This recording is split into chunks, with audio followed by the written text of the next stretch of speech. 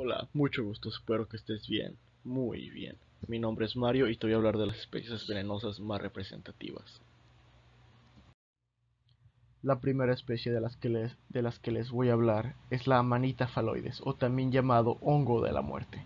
Luce como un sombreado de color pardo verdoso de unos 5 centímetros de diámetro. Tiene una volva, algo parecido a una especie de tacita, en la parte inferior del pie y cuando se abre se forma un anillo alrededor del mismo. Contiene laminillas blancas en la parte inferior del sombrero y crece bajo robles, castaños y álamos. Este hongo no se debe consumir en ninguna forma, ya que es, sumamente mortal. También les hablaré de la amanita muscaria. Es un hongo alucinógeno que también produce problemas gastrointestinales. Su pie es blanco y su sombrero es naranja o rojo brillante parecido al metálico, con pintas blancas. También es conocido como matamo, amanita matamoscas.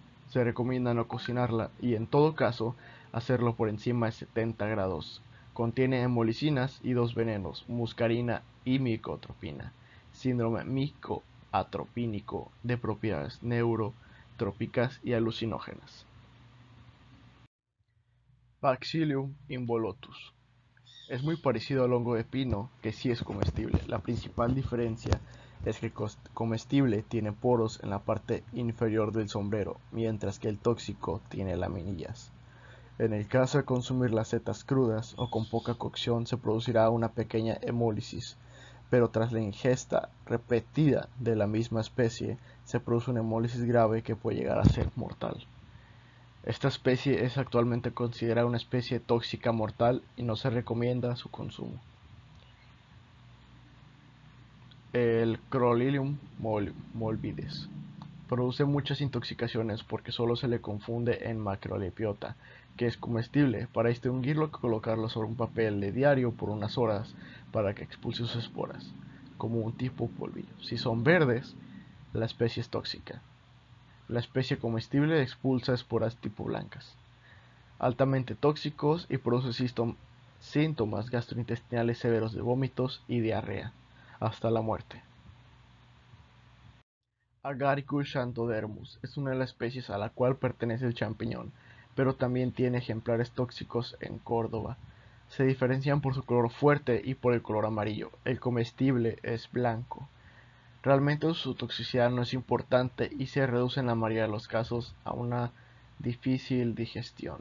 Además del fuerte y desagradable olor que desprende cuando se cocina, delata la confusión rápidamente. Un solo ejemplar estroparía un plato de champiñones. Su sabor es altamente desagradable y te causaría una digestión muy fuerte. Lepiota cristata. Tiene pie blanco, color carne. Posee un anillo de color pardo oscuro en el centro y blanco en el exterior, y se le siente a olor, a olor un olor como hierro.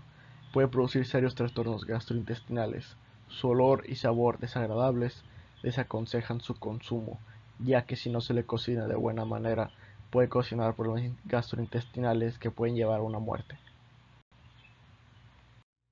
Coprinus atramentarius, con pie blanquecino, sombrero pardo grisáceo y esporas negras, se le puede ver al costado de caminos. Es tóxico y se le consume con alcohol. Sin acompañamiento de alcohol es comestible, pero si se consume con alcohol, cualquier tipo de bebida alcohólica, no importa el porcentaje más pequeño que sea, lo puede transformar en un hongo muy tóxico. Pero si se consume durante la ingesta, ya sea antes o hasta tres días después, sigue siendo tóxica lo cual crea el síndrome coprénico, provocando sudoraciones, alteraciones del pulso, enrojecimiento de la piel, intensos dolores de cabeza. Si no se atiende, los síntomas simplemente se agravarán más. Leucoprinus birmaumi es de color amarillo y tiene un anillo debajo del sombrero. Crece también en macetas. Los cuerpos frutíferos de Leucoprinus son venenosos si se consumen y causan problemas gastrointestinales desde una diarrea hasta un sangrado intestinal. El pigmento amarillo de los cuerpos frutíferos provienen de los alcaloides que se llaman pirmamimas.